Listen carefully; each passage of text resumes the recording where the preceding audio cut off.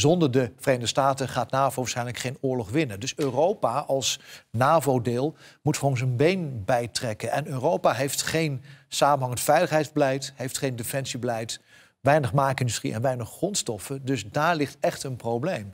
Je kunt zeggen dat de sleutel voor de toekomst voor Europa, maar ook voor Oekraïne, ligt voor een groot deel in Europa. En daar gebeurt te weinig. En volgens mij is dat ook de achtergrond dat Robau zegt: een soort wake-up call. Jongens, word even, even wakker, want we moeten wat gaan doen hier. Hmm. Poetin, Poetin verstaat alleen maar macht.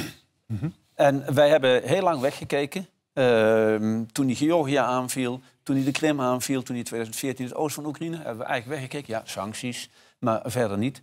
Nu bij Oekraïne zullen we moeten stoppen. Want anders zal Poetin echt het idee hebben van als ik maar volhou, dan win ik het van het Westen. En niet alleen Poetin denkt dat, maar die meneer in China ziet dat ook. En die zit uh, keurig op de zijbank te kijken van uh, zien hoe dat gaat.